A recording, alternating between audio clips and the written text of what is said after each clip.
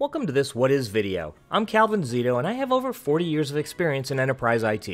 In this video, we'll look at what is Delta Lake. Stay tuned and at the end of the video, I'll give you a clickable link to our Delta Lake glossary page, and it'll go a lot deeper than I will in this video. What is Delta Lake? A Delta Lake is an open source storage layer designed to run on top of an existing data lake and improve its reliability, security, and performance.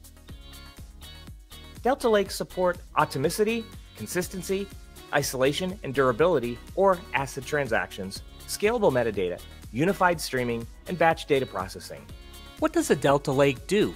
Today, companies generate massive amounts of data, which can be a valuable source of business intelligence and insight if it can be properly utilized.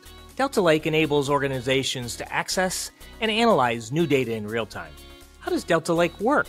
Delta Lake adds a layer of intelligent data management and governance to an open storage environment for unstructured, semi structured, and unstructured data, supporting both streaming and batch operations from a single source.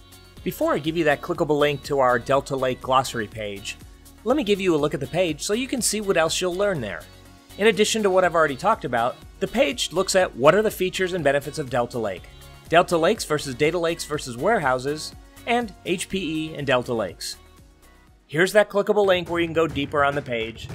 And here's a playlist of videos related to Delta Lakes looking at HPE Ezmeral Data Fabric. Do you have another topic you'd like to see me cover? Leave a comment, and be sure to hit the like and subscribe button so you don't miss another video. Thanks for joining me on this What Is video.